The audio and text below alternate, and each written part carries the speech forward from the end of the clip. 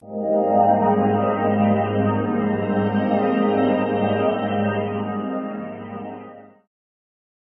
hier op het podium en dat kan de hele dag. Volop activiteiten hier op onze landbed.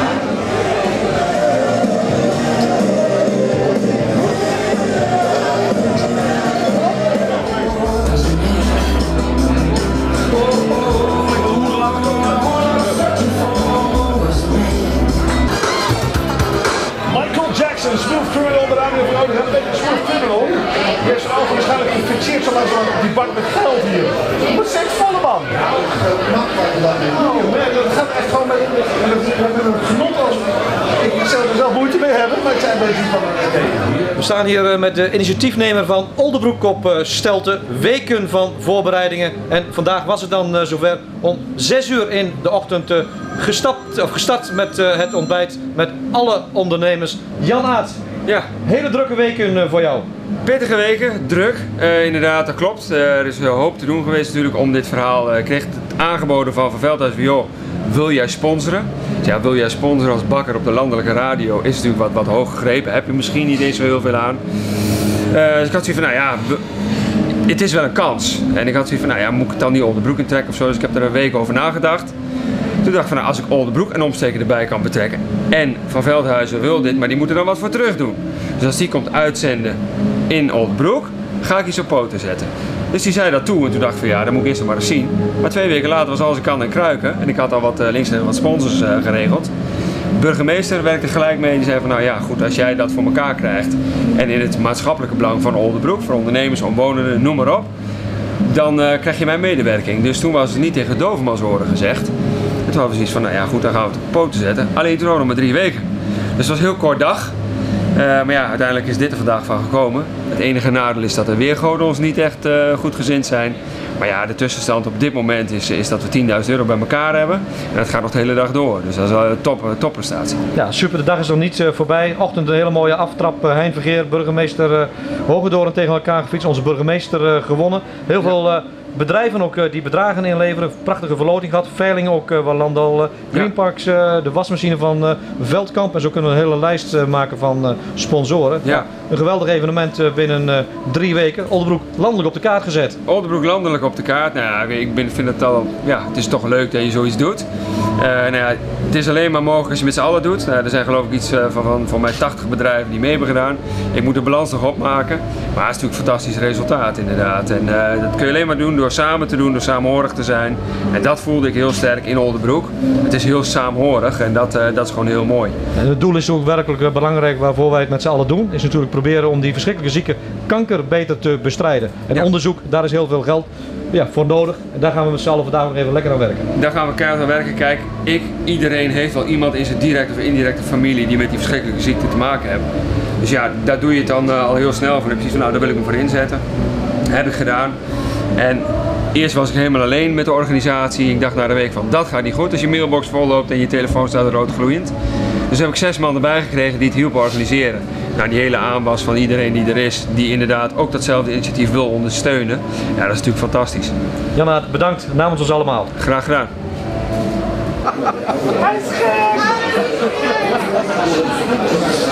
Ze trekken veel.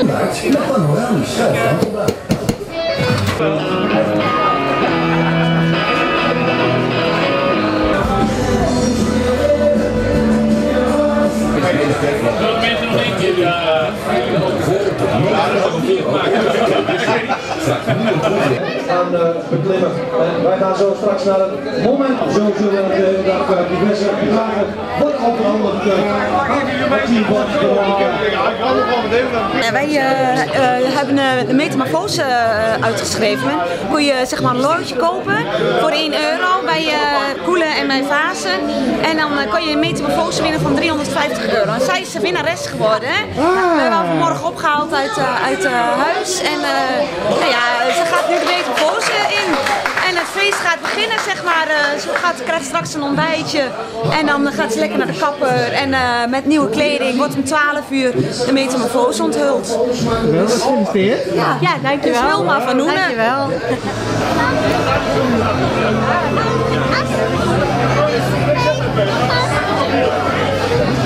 kofferbak gedaan door een allemaal spulletjes te verkopen. En wel heel, we hadden heel veel geld opgehaald. En eh, dat is wel. Ja, dit, het het was op ehm, donderdag ehm, vorige week. En toen hadden we ehm, s- het eindbedrag 1000 euro opgehaald. En dat is eigenlijk heel veel. Wij hebben op school een kleedjesmarkt gehouden en ehm, ik heb cake verkocht en 20 euro opgehaald voor het goede doel. En, ehm, en we hadden, ehm, op school hadden we, kon je geld ruilen. En Nou, we hebben met de Motieschool hebben we een kleedjesmarkt georganiseerd. En eh, we hebben in een hele korte tijd eh, de kinderen eh, spullen laten verkopen. Eh, spullen die ze bijvoorbeeld eh, op zolder hadden liggen, maar ook dingen die ze zelf hebben gemaakt. En ja, in een hele korte tijd hebben we 1000 euro bijna opgehaald. En eh, die hebben we dus vandaag laten uitreiken. En eh, samen met alle basisscholen hebben we een kleine 2000 euro opgehaald. Dus eh, dat is erg mooi. 300 euro. 300 euro de schaatskliniek. Wim Jansen. Wie? Wim? Niemand? Eenmaal, andermaal. Wim Jansen, schaatskliniek. En hij krijgt de schaatsles bij de mannen van, eh, van Werven. Ik zei, ik zei net op de radio, hartverwarmend en eh 10.000 euro is volgens mij eh, op dit moment de, de, de grootste opbrengst die wij van, eh, of van een gemeente of van een instelling hebben gekregen. Dus eh, alles wat nu meer komt maakt het alleen maar nog meer verbluffender wat onderbroekers eh, kunnen en wat, eh, waar ze toe in staat zijn. De kan. Tevreden of niet? Ja, super tevreden nog toe. Ja, het loopt uh, fantastisch. De kapper toe. En er zijn ook loten uh, verkrijgbaar. Geniet van de oproep.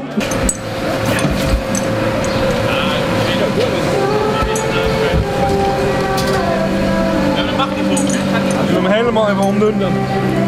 Ja, ja, ja. Even kruisen. hè? Nou, ga je mee? Wat, wat hebben we hier? Wat is hier aan de hand? We hebben hier een paramotor. Een paramotor. Een rugzakvliegtuig. Letterlijk. En hier eh, vertrekken we achter bakkerij Schild regelmatig eh, om rondjes te vliegen. En daar vliegen we gewoon twee uurtjes ongeveer. Heerlijk genieten van Gelderland. Om Drenthe. En dan komen we lekker weer terug. En dat doen we nu al, eh, voor mij al meer dan tien jaar. En eh, de initiator van vandaag in Oldenbroek, bakkerij Schuld, die vliegt zelf ook. En die heeft gevraagd van als wij een dagje zouden willen gaan vliegen. Maar helaas heeft het weer ons niet toegelaten. Kunnen er mensen mee? Ja, vandaag zal het niet lukken. Dus we hebben gezegd van eh, wat wij de komende week verkopen aan eh, tandemvluchten of introductievluchten, daar gaat de helft naar eh, de KVF-fonds. En dan houden we de hele week. Maar ja, dat is gewoon ter compensatie van het slecht weer van vandaag. Dus eh, dat is een beetje de hele idee. Draai je even op. Ja, zeker. Oh.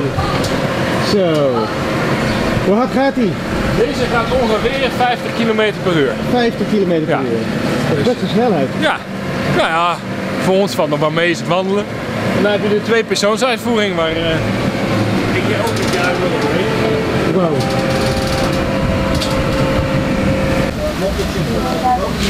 Even wachten hoor, even wachten hoor. Ja. Ze kunnen hier allemaal eh, schieten daarop en dan kunnen ze verschillende punten eh, bij elkaar optellen en eh, voor een euro drie keer schieten. Nou, en wie het hoogste aantal heeft, die krijgt een prijsje aan het einde van de dag. Oké. En, en het, loopt nog niet zo? Het loopt nog niet zo, nee. Dus er zijn nog niet zoveel kinderen geweest. Eigenlijk eerlijk gezegd nog maar eentje. Het zal ermee te maken hebben dat het eh, weer niet zo goed is. En misschien komen kinderen vanmiddag meer.